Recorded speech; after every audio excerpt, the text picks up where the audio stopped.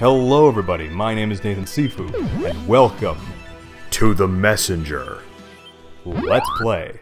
Okay, it's been a little while since we played The Messenger. Uh, yeah, this is um, this is a good game, and I've been looking forward to coming back to it. I can't remember exactly where I left off. Um, but uh, yeah, this um, I have played ahead in this game a little bit, um, and it gets really quite interesting. Like it's it's uh, it's very well put together. Like the, the, the graphically, it's really good. The um, yeah, graphically, it's really good. The um, the storytelling is actually really good. It has some profound moments. It has some really funny moments. It's I I really enjoy this game. Right, we are at Glacial Peak, and we are going to whoop some ass. Actually, I can't let it go. I gotta kill that guy. so, what was I gonna say? So, I have been experiencing, unfortunately, some stick drift in my controller. Um, ouch, fuck. But, thankfully, this game is not affected by it. Because it doesn't really... For me, it's just in the right stick, and this game doesn't use the right stick. So, we're good. Okay. Um,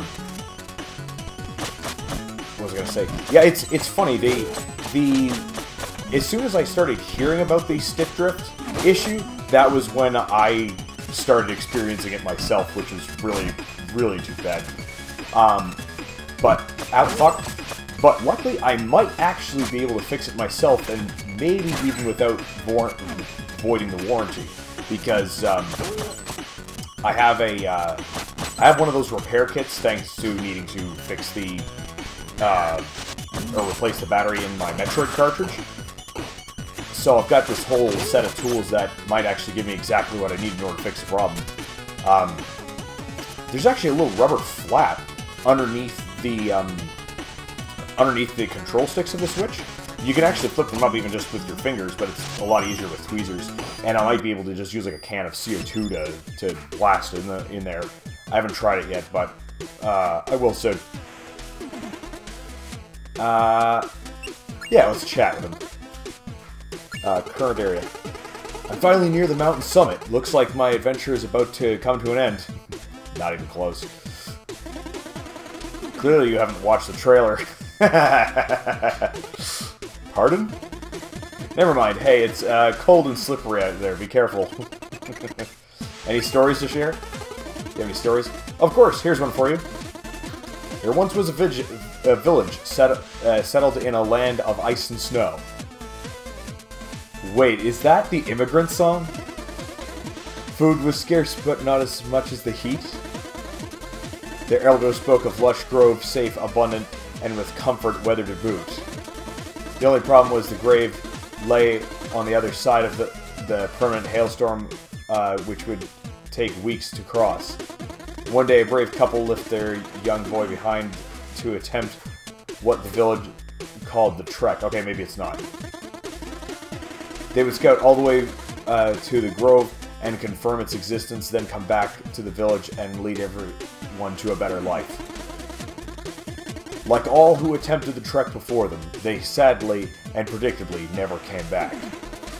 Over the following decades, the boy that boy grew up with only the goal in mind to take on the Trek himself and find his parents alive at the grove or dead in the ice. Figuring they may have simply uh, been ill prepared, he, he trained every day until he was five years old. Then his parents were the, were when they left for the trek, then set off for his own attempt. The hailstorm's first bite wasn't as bad as he thought it would be, but the ice-cold soil slowly worked its way into his bones. After days of walking through the hailstorm, uh, through the storm without realizing it uh, was all just a metaphor playing out in his his troubled young mind. He stumbled upon, no pun intended, chilling, chilling sight. his parents frozen solid in a block of ice. The shock was too strong. He remained there, cursed, pondering and cursing again. Oh, wait. He remained there cursing, pondering and cursing again, until the cold took him uh, uh, to become a part of that ice block. The end.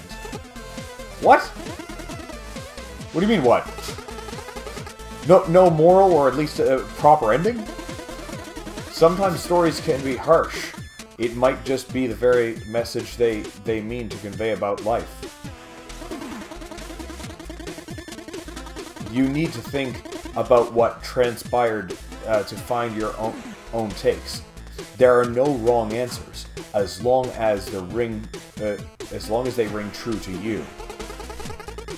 Maybe, but this one felt uh, like a pointless story, and it might uh, be the case for uh, that for you. Wait, and it might just be the case uh, that for you it was. Or you could consider the implications of our adventure being five years old, older than his uh, parents when he found them. Can you imagine gazing upon those who were your protectors and mentors, realizing they are actually younger than you? Your bearers of truth, the wise ones, you that uh, those you aspire to be like. A harsh reality indeed. You thought they knew it all, had it all figured out, that they were cent uh, centered and filled with purpose. Yet there you stand, behold the one pillar you ever uh, you ever took for granted and used uh, and used for stability, physically crystallized, yet mentally shattered before your very eyes.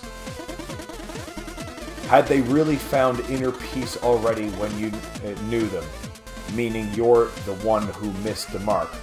Or were they simply excellent actors? Food for thought, huh? Yes, that's enough. Remember, this is all subjective. I shared but what angle. Ooh. Boy, but he really, like, the shopkeeper is, he, he's got some good ones. Please don't touch the cabinet. I already told you this cabinet is off limits. Believe me, you're not ready for what's in there.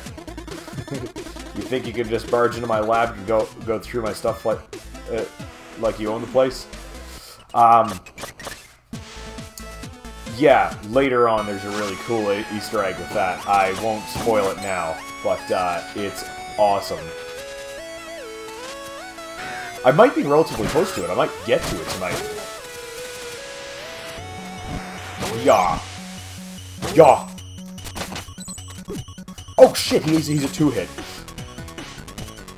I... Man, the way, the way they get you navigating through this game is really cool. Whoa. Ah! Shit! Shit! Okay, it's actually kind of getting hard. Whoa. Oh, shit! Whoa, that was close. I, I think I'm close to death. Whoa. Oh, how like that fucking sliding action? That was, that was great.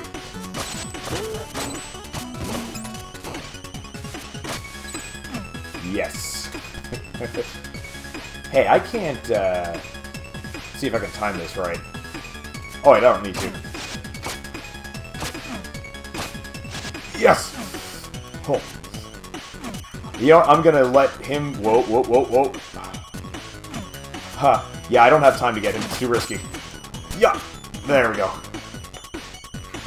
Oh, yikes. That was a little tough, wasn't it? He's got his doo-doo.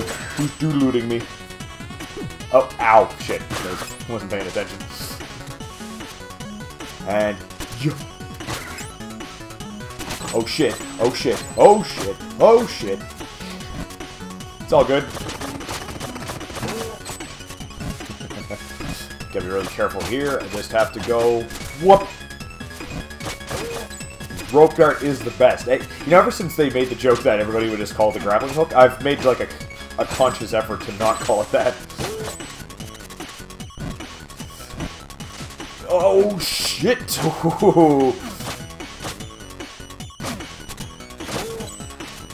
okay, wait, how am I doing this? Oh yeah, I got it, I got it. Let me go. Whoop! There we go. Oh, he fucking got me. Oh, I'm getting, I'm getting close. I might play it safe here. There we go. Oh shit. No! No, I think I was close. Damn it. A whopping 208 time shards accumulated so far. I'm glad they assigned me to you.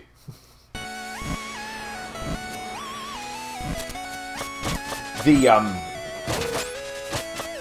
As I've gone a little bit further into the, uh, the, in, the development of my game, I've, uh, I mean, I've always had kind of a love and appreciation for, for pixel art, but I've been getting more and more into it because uh, I've been posting online, you know, a bit by now, uh, maybe even a bit more since since I've made this footage. But fuck, um, I'm getting better at it. It's like it's see basically the way it's it's worked is that I've made sketches of I should have read that. Um, you know, I've made a few sketches of a particular character that's going to be in it um, a villain. And so, you know, I, I, get the sketch going really good until I've basically got to a point that it's line art. And then I bring it into a program that kind of, um, kind of rasterizes it in a way, but not in a way that's, like, really bad. And then I touch it up to, to make it, you know, appear as though it's pixel art, and then I fill in all the details, like the shading and, and coloring and everything, and it's going really good so far. And, like, I'm get, it's gotten to the point that I'm making corrections on it, and I'm not, um, you know, not going back to redo the sketch. I'm actually just doing it within the pixel art, and it's, it's like I've gotten. I mean, don't get me wrong. I'm no like expert or anything. Shit. Um, fuck. I'm not like an expert or anything yet, of course. Like I like, um, the base of it would have to be from a sketch to begin with, but yeah, like I didn't do any of the shading in in in like a program or anything. I just kind of did it by hand, and it's working really good. I'm uh, the one thing that's kind of getting daunting about it though is is just like I'm I'm putting so much time and effort in into this one character, and I'm really enjoying it. Um, but it's one angle. I haven't applied animations to it, and I haven't brought it into Unity or anything. And it does kind of have it gnawing at the back of my mind, thinking like, is it going to be possible to do this all myself, or am I going to have to at some point, you, you like get it developed to a point where I make a kick shit, a Kickstarter, so that I can like commission people to do some of the work for me to, you know, just to be able to get it out the door because it is going to be a massive undertaking. I mean, I suppose the advantage I have is that there is no demand for this. Nobody knows that this is coming. Well, I mean, other than me talking about it, of course. But it's not like... It's not part of an, an existing franchise that people are, like, you know, like, you know, like constantly going on about and, you know, eagerly awaiting its release or anything. So, I don't know. Maybe I can just let time be on my side. We'll, we'll see. Um, yeah, I mean, at the moment, I just kind of see me doing it all myself, but if an opportunity arises that that I'm able to do it with, you know, with a, with some assistance from talented people, I mean, maybe that's a route I would want to go. I I'm mainly not going down that route just because there is literally zero budget for it. Like, I, I have absolutely no room to pay anybody for anything. But, um, I don't know. We'll see. We'll see how that goes.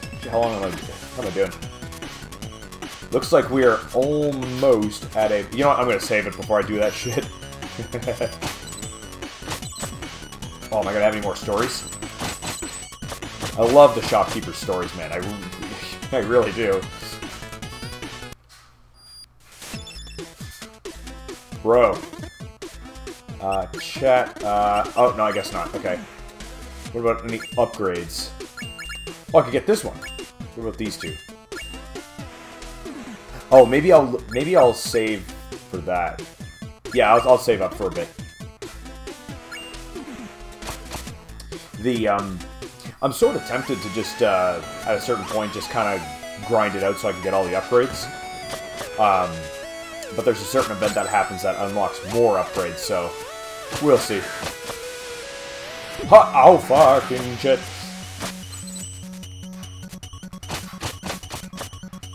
Whoa, whoa. Oh, nice. Speaking of monies. Oh, look at all these sick monies that I'm getting. Fuck yeah. I really like doing that. Oh, jeez. This is gonna be kind of tough. Oh, maybe not. Oh, whoa, nice recovery. If I do say so myself.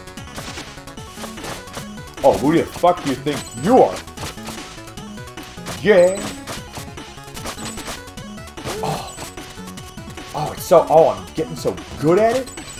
Oh. Spoke far too soon. Admit that you did that just because you wanted to see me. Glad I saved there. There you go, Quarble. Eat those. Leave me alone, would you? Hey, do I have to... Am I able to get, get that stuff again, or is it already gone? Oh yeah, it's gone. Fair enough. Oh, shit. Ah, shit, I knew he was gonna get me. Motherfucker.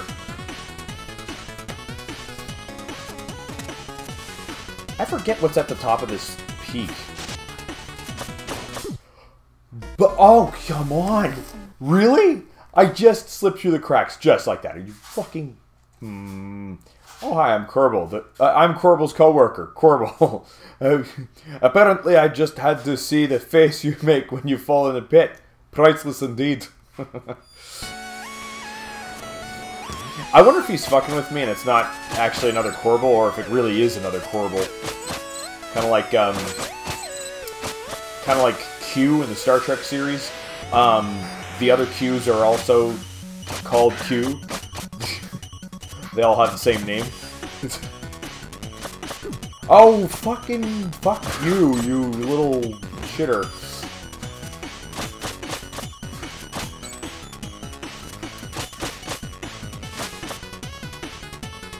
And how we doing on time? We'll get a little bit further here. Don't fucking do it again. Jeez. I almost did it twice. Whoa. Whoa.